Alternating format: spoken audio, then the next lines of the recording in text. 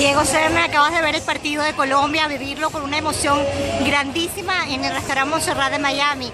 ¿Qué nos puedes decir de lo que se vivió hoy aquí? Bueno, contentísimo por ser colombiano y toda esta gente que nos acompañó en ese restaurante. Yo creo que Miami está loco ya. Eh, Colombia se siente bastante por lo que es un equipo que en Sudamérica nos va a representar bien, como viene Chile, como viene Brasil.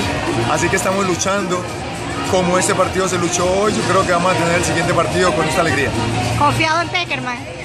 Bastante, bastante, porque es un técnico de respeto y yo creo que a los colombianos nos hace falta eso, un poquito de presión y una persona que nos represente un poquito de respeto para hacer el trabajo que tenemos que hacer.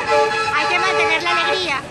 No te entendí. Hay que mantener la alegría. Claro que sí, yo creo que son seis puntos que llaman a nueve para quedar primeros en, en el grupo. Gracias. Gracias.